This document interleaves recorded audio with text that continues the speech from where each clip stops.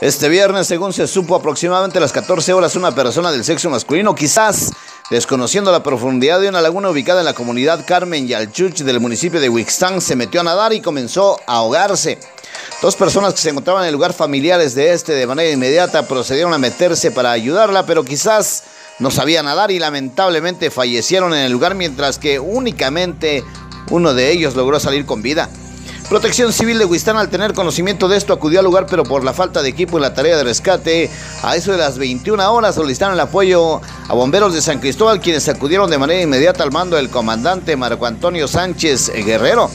A su llegada comenzaron a trabajar utilizando trajes de neopreno para bucear en dicha laguna, así como lanchas, cuerdas, escaleras y pértigas, pero por la oscuridad del lugar y después de varias horas de trabajo, los elementos únicamente lograron rescatar el cuerpo de una sola persona.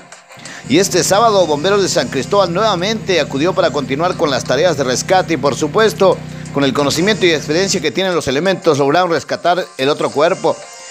Estas dos personas quienes fallecieron ahogadas en vidas llevaron los nombres de Criselio de 22 años y Freddy de tan solo 18 años de edad. Los cuerpos fueron entregados a sus familiares y estos agradecieron el gran apoyo que los elementos proporcionaron en este lamentable evento ocurrido en el municipio de Wixtán.